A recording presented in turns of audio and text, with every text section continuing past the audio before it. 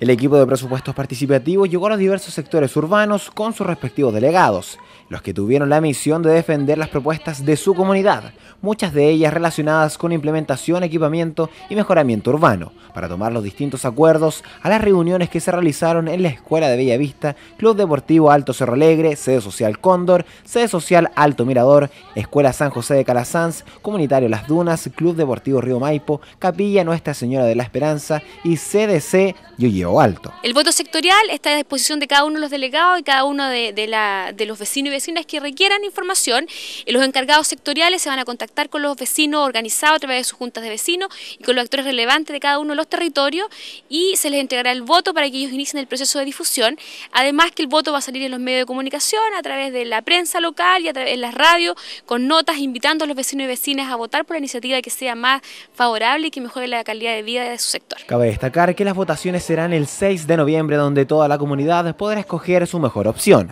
La secretaria técnica del programa Presupuestos Participativos, Dania Contreras, se mostró satisfecha con el trabajo realizado y destacó la importancia de la participación de la comunidad para el día de las votaciones. Dejamos a todos los vecinos y vecinas de San Antonio invitados a concurrir a votar el día 6 de noviembre en el presupuesto participativo adulto. Pueden votar todos los jóvenes mayores de 14 años y sin límite de edad. El presupuesto participativo infantil va a ser organizado en las escuelas municipales y también habrá un día de votación para que los niños que pertenezcan al sistema eh, subvencionado, particular subvencionado, puedan también manifestar su opinión y incorporarse al desarrollo territorial de cada uno de los territorios de San Antonio. Se espera ahora que los vecinos inicien sus campañas de difusión, siempre apoyados por el municipio, con el fin de que toda la comunidad esté enterada de los proyectos a votar el próximo 6 de noviembre.